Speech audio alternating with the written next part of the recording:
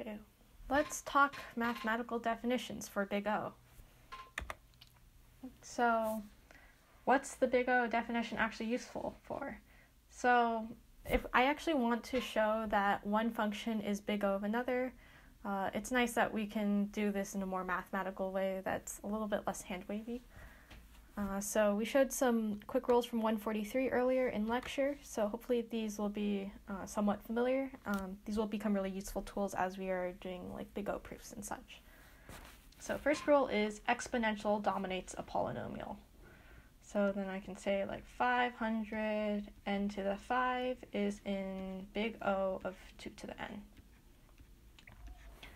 Uh, another rule is higher order polynomial dominates a lower order one. So I can say that n squared is going to be in big O of n to the n cubed.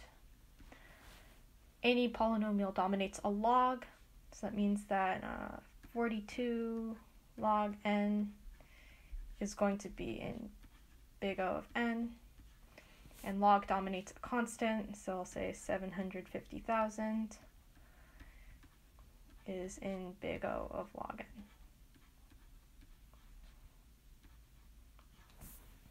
Okay, great. So now we'll actually go over the formal definition of big O. So f of n is an O of g of n if there exist positive constants c and n naught such that for all n greater than or equal to n naught, f of n is less than or equal to c times g of n. So this is a little bit of a mouthful, but we'll break down the definition and hopefully it'll make a little bit more sense. So if we want to show that f of n is an O of g of n, then our job is to pick these constants c and n naught that will make this expression true for all n greater than or equal to n naught. So you might be wondering, okay, what what role do both of these actual constants serve? So first we'll see why is n naught important. So let's say that we wanted to show that 10 log n is an O of n. Hopefully from the previous slide, uh, it's apparent that this expression is true. So if we actually plot these expressions though, we'll see that uh, there's actually, it's not always true that 10 log n is going to be less than n. So we can, what we can see is that actually um, before like this point, this intersection over here, um, 10 log n is actually bigger than n. But since big O generally only cares about values of n that are really large, um, it's actually it, it actually doesn't matter that uh, 10 log n is bigger than n for like small values. So what we can say is that after uh, after this point over here, uh, n is always going to be greater than 10 log n. So if we picked a value for n naught to be maybe 37, because I'm guessing that's about where this intersection is, then that'll help us like show that this big O uh, definition is true. So basically, everything af- all points after about this like 37 point uh, will show that like uh, n is going to be greater than 10 log n. Um, second question might be, okay, why is c important? So let's try, let's say that we're trying to show that 2 log n is an O of log n. So if we plot these two functions again, uh, we can see that this 2 log n term is always going to be greater than log n for any positive constants. So what we can do with our big O definition is that we can scale this g of n term. So we can scale this log n term by some positive constant. So let's say that I picked c equals 3. Then that means that like, let's say that this is uh, 3 times log n.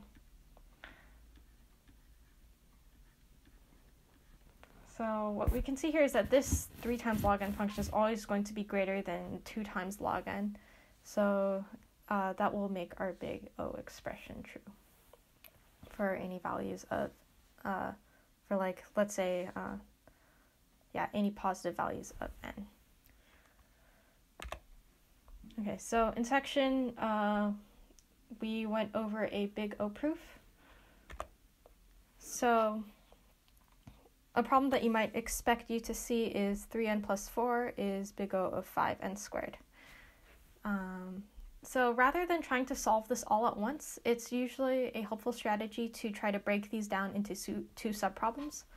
So we can try to find constants for c and n naught to make this expression true. So 3n is in O5n squared. And we can also show that 4 is in O5n squared. So we'll pick constants for c and n naught for both of these, and then we'll combine them at the end. Okay, so here's our first subproblem. Uh, 3n is an O of 5n squared. So remember that this is the uh, inequality that we're trying to prove.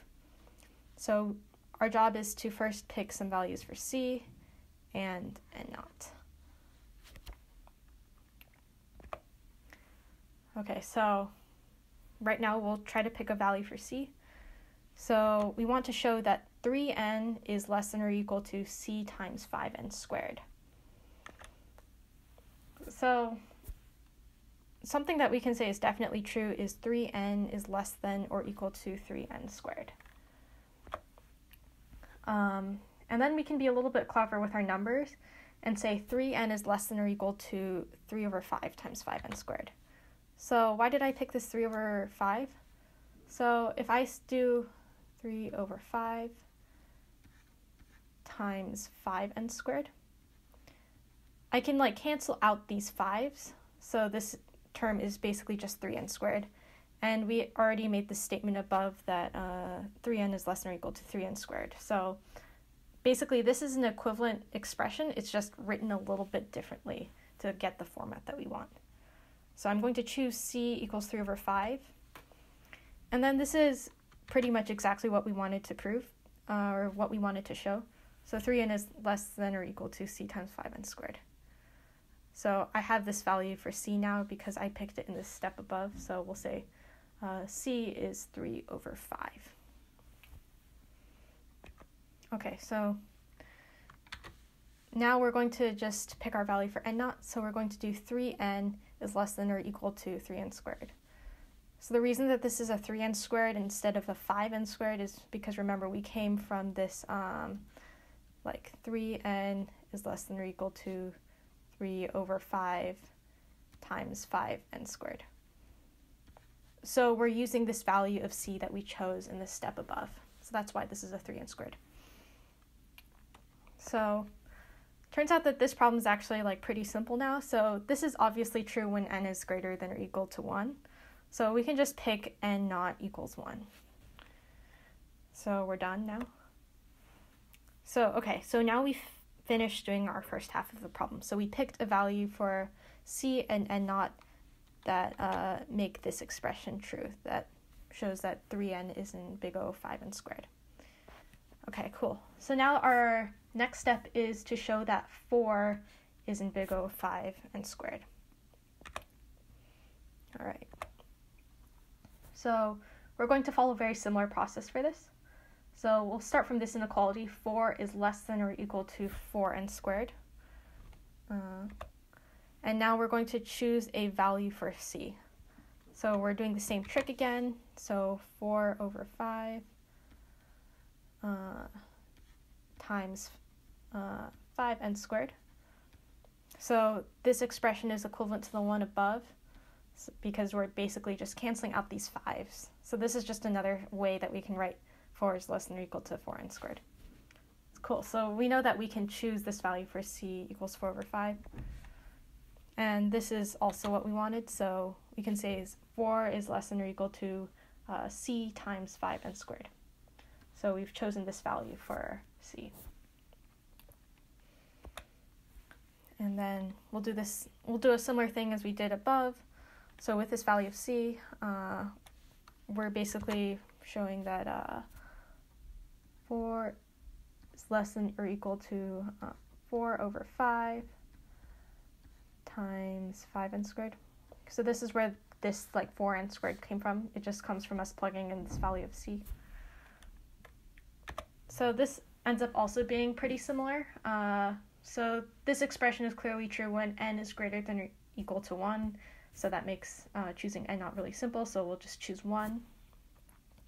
And now we're, we're done with both of our subproblems. So we know that according to our big O definition, uh, 3n is in big O 5n squared. And we know this is true because we can pick these constants c equals 3 over 5 and n naught equals 1. And this will like make the definition true. And same thing for 4. So now that we've solved both of our subproblems, our next goal is going to be to combine them. All right, so once again, here here's our results for both of our subproblems. So we can just like write it out fully uh, with like the constants and stuff. We can write these two expressions. Um, and now we can try to combine them. So 3n plus 4 is going to be less than or equal to 3 over 5 times 5n squared plus 4 over 5 times 5n squared. And so right now we're just basically chaining these two inequalities together. Uh, and these are both true when n is greater than or equal to 1. So now we can just factor uh, out our common, uh, like our common uh, n squared terms. So right here we have this 3 over 5 times 5n squared and 4 over 5 times 5n squared. So when we combine the terms, we just get 3 over 5 plus 4 over 5 times 5n squared. And now we can just like add these two together to find like a overall c and overall n naught for this expression. So now we've chosen c equals 7 over 5 and not n, n naught equals 1. So these will work for showing that this expression is in big O of 5n squared. Okay, so just to recap, uh, so just to recap, this would be like a full proof that's written out. So here's our claim. 3n plus 4 is an O 5n squared.